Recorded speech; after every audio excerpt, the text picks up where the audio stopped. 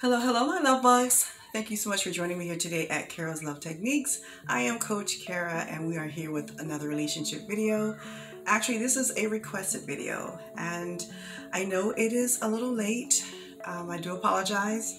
However, I cannot do a video unless I feel led, you know, I feel compelled. I have to feel it in my spirit, if you know what I mean, okay? But hopefully I deliver and um, kind of answer uh, the question that you had. And that question is how can two people with trust issues have a successful, healthy relationship? Okay, so let's let's just start there. So here's the reality of it. All of us have some level of a trust issue, especially if you have had, you know, one or more relationships. Okay, so there will be some level of insecurity when it comes into going into a new situation or trying to restart an old one. All right. So here's here's the thing. Before you can set foot onto this journey, and I think this is where the fear lies, and that is can I trust myself? You know, can I trust myself to make wiser decisions or to make better choices in relationships so I don't end up wounded or having to endure such great pain? That is the question. Do you trust yourself to be in a new situation? Because see, it starts there. It all it always starts with you. Have you done the healing? Have you done the introspection? Are you secure now or more secure with yourself? Do you feel confident enough to want to be able to be vulnerable enough to trust. Okay, and with that, you have to be willing to want to trust. You just can't go into the situation and say, oh, I'm going to see what happens, you know, and try to make no no no you have to be willing to want to trust someone but it starts with you do you trust yourself and i ask that question because it's going to make the difference in the long term. And by that I mean, you know, just say you you've been dating someone and you're three dates in, and this person, you know, they reveal that they've been driving with a suspended license for over six months. Okay, just start there. Do you trust yourself in that moment to wake up to make a wise decision? Is that a white, yellow, or red flag? Can this person allow you to feel secure within the next six months? Do you see yourself trusting this person within six months? See, these are the things that you need to ask yourself or expect. Because those are the challenges you're going to face. Although it's a minor one and it's a very simple one. If that's a red flag, love, run. Buy, it, run. This person right here, more than likely, is not going to take you where you need to go. Okay, so just despite that he or she may be sexy as hell and you may be greatly attracted, but this isn't the one for you. You don't want to start that again, okay? You want to start someplace positive and, and you to where you can feel secure, you know, safe with an individual versus starting off wrong. No, we don't want to do that. So trust starts with yourself. Once you do that, and both of you need to have a discussion about some of your major concerns are what it is that triggers your anxiety or make you fearful about opening up and wanting to trust someone. You know, you really need to have a deep, long conversation about that.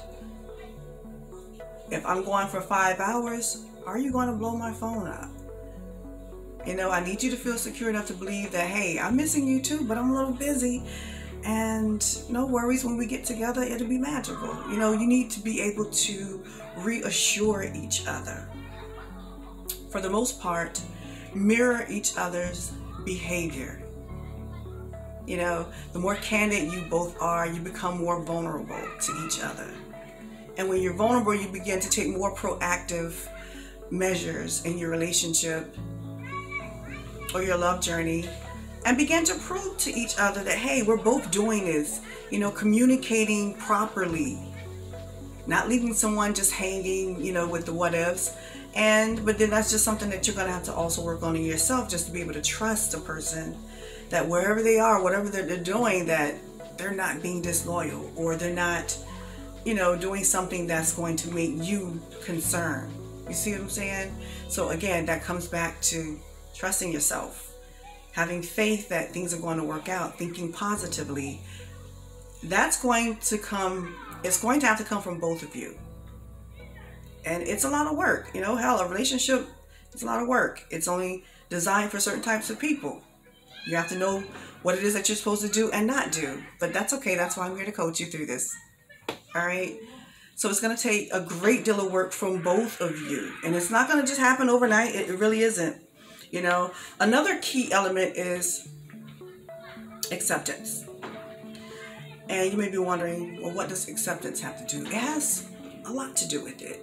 Because as long as both of you accept each other in different areas to a great capacity, you're less likely to be concerned and to trust that this person is going to be be you know be what it is that you need. That, that's that level of fulfillment in relationship so if they're slacking in a couple of areas you're not comfortable with it. You don't really condone what it is that they do or whatever that is. You know you not quite sure how long you can deal with that sort of thing. Well that's going to become a problem. It's going to seriously and severely interfere with your your trusting your trust process. So you want to make sure that both of you accept each other on a deep level. Not 100%, but enough to where there's comfort and you don't feel insecure or there's very little doubt. You know, the kind of doubt that you can say, huh, I mean, yeah, she does this, but, you know, I don't really like it. You know, it's just something I, I can just live with, you know, that sort of thing. You want to feel comfortable. You want to be with someone who makes you feel safe emotionally. You want to feel comfortable. All right. But how do you know when you really begin to trust? You'll know this when the worry begins to dissipate from both of you. As time goes on, you begin to care less what it is your person doing or whatever the trigger is. You're no longer experiencing anxiety to a great level or you know becoming jealous whatever your issue or your concern is as as time goes on and that worry begins to dissipate well then that's when your trust will grow. Okay? But it's a process.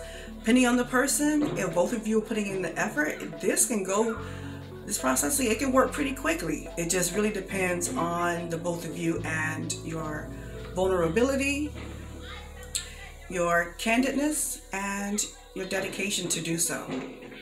Okay? Well, that is all for now. Hopefully, this has been insightful for you. If you need further consultation, reach out to me. The information will be listed down below. But that is all for now, my love.